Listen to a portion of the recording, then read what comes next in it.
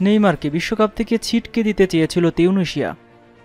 প্রতিযোগিতামূলক নয়, প্রীতি ম্যাচ। দুই দলের ওই মূল লক্ষ্য কাতার বিশ্বকাপের আগে নিজেদের ঝালিয়ে নেওয়া কিন্তু এমন ম্যাচে নেইমারকে যেভাবে ফাউল করা হয়েছে, তা মেনে নিতে পারছে না ব্রাজিল কুস্তিতে। তার মনে হচ্ছে পিএসজি তারকাকে বৈশ্বিক আসর থেকে যেন ছিটকে দিতে চেয়েছিল তিউনিশিয়া। ফ্রান্সের প্যারিসে মঙ্গলবার পাঁচ এক গোলের বড় জয় পেয়েছে ব্রাজিল। প্রথমার্ধেই চার গোল করে ম্যাচের নিয়ন্ত্রণ নেয় তিতের দল। এর একটি সফল স্পট কিক করেন নেইমার। ঘানাকে তিন শূন্য গোলে হারানোর পর এই জয়ে বিশ্বকাপের প্রস্তুতিটা দারুণ হলো ব্রাজিলের। তবে সবশেষ ম্যাচে ঘটে যেতে পারত বড় বিপদ।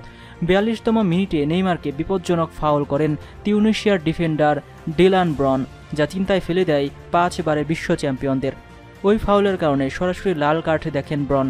যন্ত্রণায় কিছু সময় কাতরাতে দেখা যায় সাবেক বার্সেলোনা ফরওয়ার্ডকে ম্যাচের পর ওই ফাউল নিয়ে বিরক্তির ফুটে উঠল তিতের কণ্ঠে। বললেন, প্রীতি ম্যাচে এই ধরনের ধরনের চ্যালেঞ্জের কোনো মানেই হয় না। স্টেডিয়ামের অধিকাংশ সমর্থক ছিল তিউনেশিয়ার। মাঝে মধ্যে আমি আমাদের ভক্তদের খুঁজে বের করার চেষ্টা করেছি। তারা সংখ্যায় খুব কম ছিল। এটি প্রতিযোগ- প্রতিযোগিতামূলক ম্যাচের আবহাওয়া তৈরি করেছিল।